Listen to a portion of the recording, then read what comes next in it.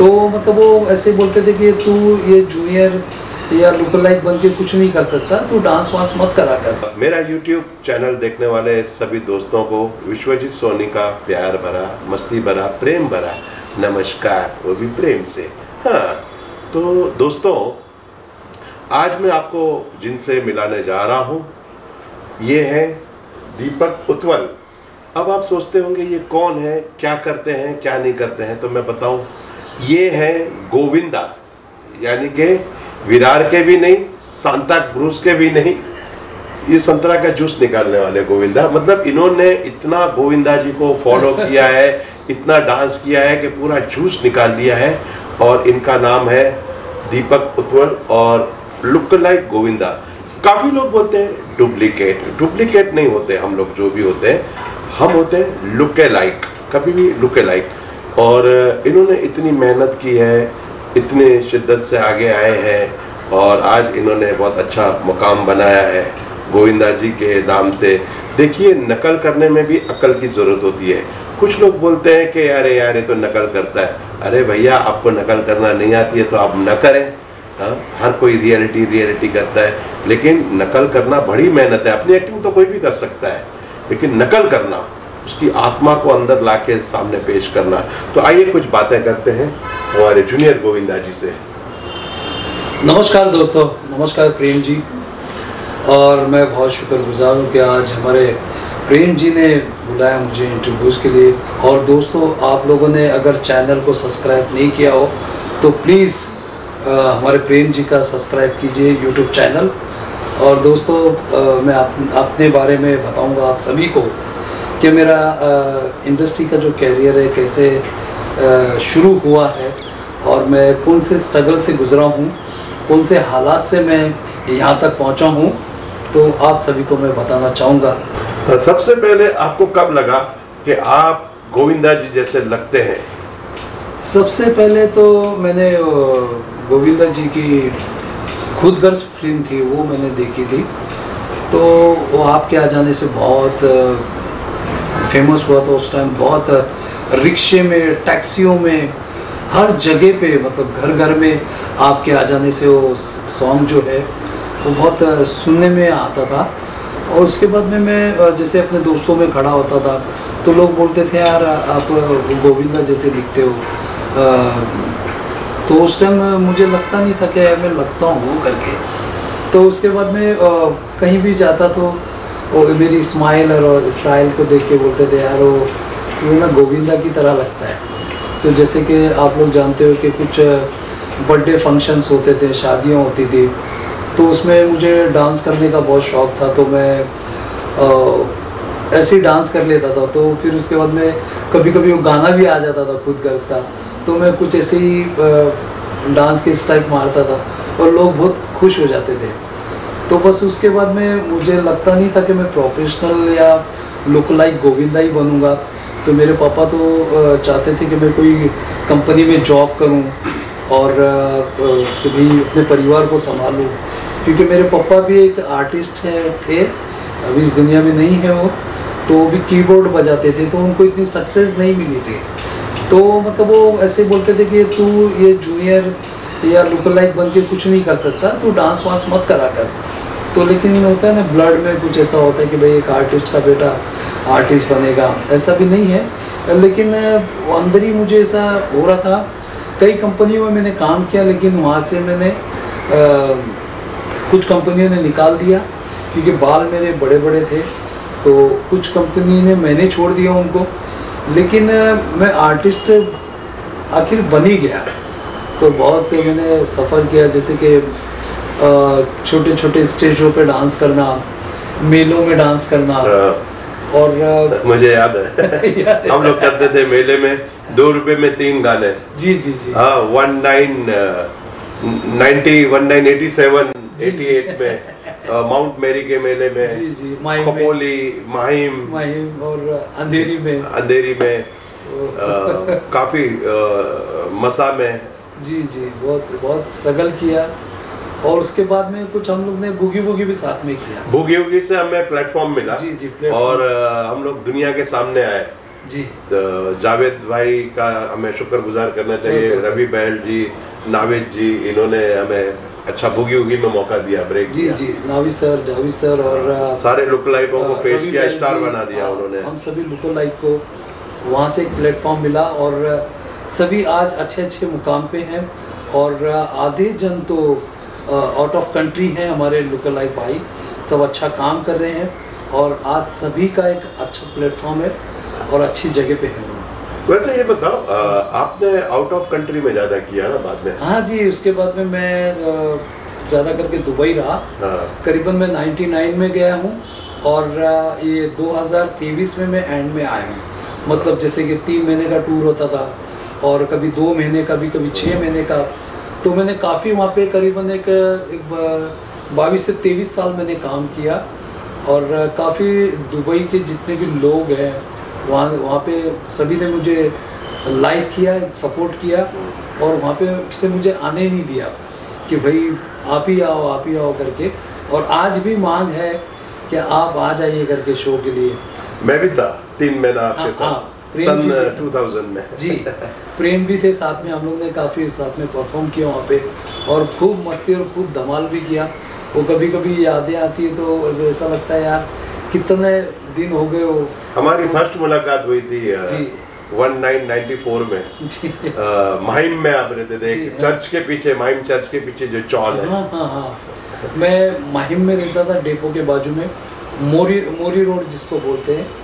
मैं वहाँ से मेरा काफ़ी हेमंत जी भी रहते थे वहाँ पे और जो अब इस दुनिया में नहीं है। हेमंत कुमार। हाँ हेमंत कुमार। उन्होंने मिलाया था जी। तो हेमंत कुमार जी जो हैं आज इस दुनिया में नहीं है और उन्होंने प्रेम जी से मिलाया था। तो प्रेम जी ने मुझे शो दिए जैसे इवेंट्स वगैरह होते हैं फ़ंक्शंस उन्हों उन्होंने मुझे काफ़ी काम दिया।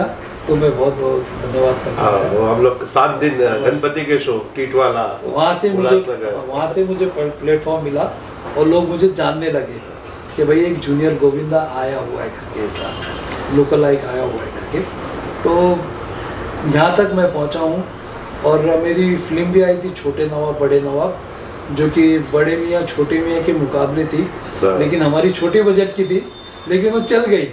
वो नाम से। हाँ वो बहुत अच्छी चली थी बड़े नवाब छोटे जी जी। और काफ़ी मैंने सीरियल वगैरह भी किए। हाँ। और हाल ही में गोविंदा सर मुझे एयरपोर्ट पे भी मिले थे। और वाकई में गोविंदा सर बहुत प्यारे इंसान है और बहुत अच्छे से मुझे मिले और बहुत प्यार मिला उनसे। और भाभी जी ने तो ऐसा कहा था कि भाई साहब के कार्बन कॉपी हैं आप। तो सुनीता भाभी जी जी जी। सुनीता जी और वो उससे- देखा था मैंने। उससे उससे बड़ी बात तो कोई हुई नहीं सकती। हाँ। तो लेकिन गोविंदा जी बहुत अच्छे इंसान है और इतना आपको प्यार करते हैं। शायद याद है हम लोग ने एक फ़िल्म कर रहे थे चलो इश्क लड़ाई हाँ प्राणलाल मेहता जी की। हाँ। मेरा गोविंदा जी के साथ ही था वो तो खैर सीन कट गया। तो आप आए थे मैंने बुलाया था। और ज़रूर एक बात बताना चाहूँगा। प्रेम जी ने चलो इश्क लड़ाई में गोविंदा जी के साथ में कुछ कॉमेडी सीन थे उन्होंने किया था। शायद उनका रोल काटा गया है उसमें। अ, लेकिन गोविंदा जी से मिलाने वाले प्रेम जी थे। कि भाई आ जाओ यार तुम्हारा गोविंदा जी यहाँ पे है करके। तो मैं तुरंत वहाँ पे पहुँचा था। अच्छा फ़र्स्ट मुलाकात? जी फ़र्स्ट मुलाकात थी। कमलिस्तान में। हाँ कब्रिस्तान में। कमलस्तान में काफ़ी लुक लाइक हाँ, थे। जी जी। तो उसमें हम लोग मिले थे गोविंदा सर से। तो उस टाइम भी बहुत मुझे लाइक किया उन्होंने सपोर्ट किया कि उस टाइम में थोड़ा हेल्दी था। तो बोले कि थोड़ा सा कम हो जा पेट वेट अंदर कर। तू मोटा लग रहा है करके। तो बस उनकी बातों को लेके मैं उस दिन से बहुत कोशिश करता हूँ कि भाई उनकी तरह कुछ एक हंड्रेड परसेंट नहीं एक पाँच परसेंट तो मैं दिखूं क्या हेल्थ में कपड़ों से या स्टाइल से। नहीं नहीं पाँच परसेंट नहीं आप 95 परसेंट नाइन्टी नाइन परसेंट लगते हो। आज गोविंदा जी का लुक लाइक बन के आपने इतना अच्छा मकाम बनाया देश विदेशों में शोज़ किए आपने और अभी भी कर रहे हो अभी भी आपने गोविंदा जी को बिज़ी कर रखा है। और खुद भी बिज़ी हो। अच्छा याद है किस्सा मैं और पहचान कौन नवीन ब्रह्माकर कॉमेडियन हाँ। वो भी मेरे अच्छे दोस्त हैं हम लोग काफ़ी शोज़ करते हैं। हम एक बार दुबई आए थे हाँ, शो हाँ, करने। मैं सलमान खान जी और नवीन प्रभाकर पहचान कौन। तो हमें ऑर्गेनाइजर ने कहा कि आप हयात में चलोगे दुबई में? हाँ, हाँ। मैं बोला नहीं यार अभी सलमान खान अपने आप में बहुत बड़े एक्टर है। हाँ। उनके सामने हम बैठेंगे तो प्राइवेट प्राइवेसी उनकी भी खराब होगी हमारी भी खराब। हम्म। कि हम कुछ बोल भी नहीं पाएँगे। तो बोला मेरा एक दोस्त है जूनियर गोविंदा। हाँ। अपन उसको मिलने जाएँगे और अपन मस्ती करेंगे। और नहीं सर ने बोला आपकी मर्ज़ी। फिर हम चुपचाप आपके आउटलेट में आगे बैठे और देखा। बोला इसको देखने दो। तो वेटर को बोला उसको बुलाओ। वेटर को बोला तो बुलाया तो आप आगे बैठे अरे बोले दुबई में? अभी तो मुझे देख के चौके। बोला इसको भी देखो। पहचान कौन? और वहाँ वही गाना चल रहा था पहचान और सचमुच मुझे कुछ सेकंड के लिए तो ऐसा लगा कि मैं मुंबई में हूँ या ये दुबई में। तो मैं इनको देख के बहुत शौक हो गया क्योंकि उस टाइम ये नवीन प्रभाकर जो जी हैं कॉमेडी सर्कस के के। लाफ्टर चैलेंज के। और हमारे अच्छे दोस्त हैं और इनके खास दोस्त हैं। तो ये मुझसे मिलने के लिए आए थे क्योंकि दोनों भी जो है सलमान खान जी यानी कि हमारे सुपरस्टार उनके शो में आए हुए थे। तो वो हयात होटल में रुके हुए थे लोग लेकिन मुझसे मिलने के लिए आए। तो एकदम से मैं देख के चौंक गया इनको कि भाई यार मुझसे मिलने आ गए यार। तो हम लोग ने वहाँ पे भी बहुत इंजॉय किया बहुत एकदम धमाल किया वहाँ पे भी। है ना? हाँ, और हम लोग ने स्टार्ट में आज जो रियलिटी शो आ रहे हैं हाँ। हमारी खुश नसीबी है हाँ। कि हमने जितने भी लुक लाइक थे जी। ये रियलिटी शो शुरू तो हम लोग से हुआ था। यस हाँ जैसे तीन दो पाँच। हाँ। हाँ जैसे seen unseen seen and seen और बुगी वुगी उगी उगी फ़िल्म दीवाने यस और तभी इतना मीडिया का ये नहीं था यूट्यूब चैनल. नहीं थे इतना नहीं था जो हम इतने फ़ेमस नहीं हो पाए। लेकिन हम फिर भी आज लोग हमें जानते हैं हमारे यार दोस्त सब जानते हैं जनता हमें जानती है। लेकिन उसके बाद रियलिटी शो से हम जो अभी सीरियल कर रहे हैं मूवीज़ कर रहे हैं ये जो अभी के लोग जो रियलिटी शो कर रहे हैं मैं तो चाहता हूँ ऊपर वाले से कि ये भी आगे चल के सीरियल्स फ़िल्में करें और एक्टर बन जाए क्योंकि काफ़ी रियलिटी शो आजकल चल रहे हैं लेकिन उसका आगे भी फ़ायदा होना चाहिए। चार एपिसोड में दिखे रियलिटी शो किए फिर आउट हो गए फिर उसके बाद पता नहीं लेकिन आज ऊपर वाले की मेहरबानी है कि जितने भी लोक लाइक है जैसे मैं कर रहा हूँ भाभी जी घर पर है नौ साल से कर रहा हूँ मैंने मूवी धमाल में काम किया सब में की आपने काफ़ी सीरियल की हम पाँच की है ना? हम पाँच में भी थे आप और धमाल में भी किया। धमाल धमाल में भी किया। सीरियल आता था हाँ धमाल सीरियल आता और दम दमा दम दम दमादम सॉरी हाँ दम दमादम में। और इतना देश विदेशों में शोज़ किए न जाने कितने पासपोर्ट खत्म कर दिए। मेरे पाँच पासपोर्ट हो गए। पाँच पासपोर्ट खत्म हो गए चार मेरे हो गए। वरना लोग एक ठप्पे के लिए तरसते हैं कि। पासपोर्ट को ठप्पा लगे। तो ये जो गॉड गिफ्ट है ये चेहरा हर किसी को नहीं मिलता है। और जिसको नहीं मिलता है वो बोलता है डुप्लीकेट है। वो सीधा नहीं बोलता मिले नहीं खाने को तो अंगूर खट्टे हमारे ऊपर टिप्पणी करते रहते हैं और हमें भी मज़ा आता है।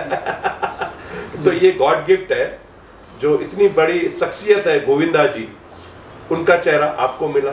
इतनी बड़ी शख्सियत है प्रेम चोपड़ा जी उनका चेहरा मुझे मिला। तो ये गॉड गिफ्ट है लेकिन गॉड ने चाहा एक बात बता दूँ मैं प्रेम जी ने जो स्ट्रगल किया आज वो भाभी जी में नंबर वन कलाकार है। आज उनको बच्चा बच्चा जानता है अगर रोड पे खड़े भी हो जाए तो उनसे फ़ोटो निकालने आ जाते हैं सेल्फी लेने आ जाते। बहुत फ़ेमस है। और एक बात बताओ हम दोनों एक दूसरे का इंटरव्यू ले रहे हैं। एक दूसरे के बारे में बता रहे हैं कोई स्क्रिप्टेड नहीं है ये। हम जो बात कर रहे हैं रियल कर रहे हैं। Yes, yes. दिल खोल के आपके सामने अपनी गरीबी भी बता रहे हैं अमीरी भी बता रहे हैं जो जो किया सब बता रहे हैं आपको। हाँ जी मैं कोई तो स्क्रिप्ट बना के नहीं बैठे हैं भाई मैंने तो बहुत बहुत दो तीन दिन खाना खाए भी हो जाता था। जैसे वड़ा पाव खा लिया तो शाम को मैं क्या खाऊँगा? और बहुत बहुत झोपड़पट्टी में रहा हूँ मैं और बहुत स्ट्रगल करके यहाँ तक मैं पहुँचा हूँ। हमारे में कोई ऐसा नहीं है कि कुछ हम बड़ापन कर रहे हैं कुछ कर रहे नहीं हैं। नहीं नहीं। बहुत छोटे से अभी कुछ कुछ ठीक हुए हम लोग। और पहले ऐसा होता था पहले के रियलिटी शो में हाँ, कि अगर गोविंदा का ही लुक लाइक चाहिए। तो गोविंदा का ही लुक लाइक लेंगे। प्रेम चोपड़ा जी का चाहिए तो प्रेम चोपड़ा जी का लेंगे। शाहरुख खान जी का चाहिए तो शाहरुख खान जी का। लेकिन आजकल थोड़ी मेरी एक शिकायत है रियलिटी शो में जो किसी को भी मिमिक्री आर्टिस्ट को उठा के गोविंदा बना देते हैं जी, जी, जी। किसी को प्रेम चोपड़ा बना देते हैं किसी को अमिताभ बच्चन बना देते हैं यार ये मत करो प्लीज़ हाथ जोड़ रहे हैं। है ना हम लोग यहाँ काम करने के लिए? हम लोग हैं। हाँ। आप लोग ये अपनी मनमानी प्लीज़ छोड़ दें। इशारा तो समझ ही गए होंगे। बुला लो ना हम बैठे हैं यार। हाँ, किसी को भी कुछ भी गेटअप करके बनाते हो कि वो मज़ा नहीं आ रहा है। हमें लोग बोलते हैं इसलिए हम आप तक पहुँचा रहे हैं। आप भी थोड़ा जो देख रहे हैं रियलिटी शोज़ जो आप देखते हैं उन्हें आप YouTube के नीचे लिख सकते हैं कि यार जो असली है उनको बुला लो। मतलब असली के जो नकली है। और बहुत अच्छा लगा प्रेम जी आपसे बात अरे बहुत बढ़िया, मज़ा आ गया। यूट्यूब चैनल के जितने भी सब्सक्राइब हैं उनको मैं तय दिल से बहुत बहुत धन्यवाद करता हूँ कि आपने ये पूरा वीडियो देखा होगा। और हम लोग की जो मेहनत है और यहाँ तक जो हम लोग पहुँचे हैं आप उसे एफिशिएट करेंगे। बस यही मैं कहना चाहता हूँ आप लोग को मज़ा आया होगा ये वीडियो देख के। तो आप लाइक करें सब्सक्राइब करें कमेंट्स करें शेयर करें और बहुत मज़ा आ गया आपसे मिलके। बड़ा बहुत दिनों के बाद मिले आप। तो मैं बोला चलो इंटरव्यू ले लेते हैं आपका एक। You. और आपने मेरे इंटरव्यू ली। दोनों ने बाबा ऐसा एक दूसरे का लेने का मज़ा आता है। नहीं ऐसा यार थोड़ा कॉमेडी करने का। डायलॉग क्या गोविंदा का सुना दो कोई मस्त मज़ा आ जाए लास्ट में। अरे हटा सावन की घटा खा कुचा पत्ती बुझा। निंटकले पिंटुकले अंटी बार बार बंटी में घंटी बजा रही कुल्लाव के पच्ची मोटले भोतो के फुटले वटले शालामत क्या? ए Munnu. Thank you thank you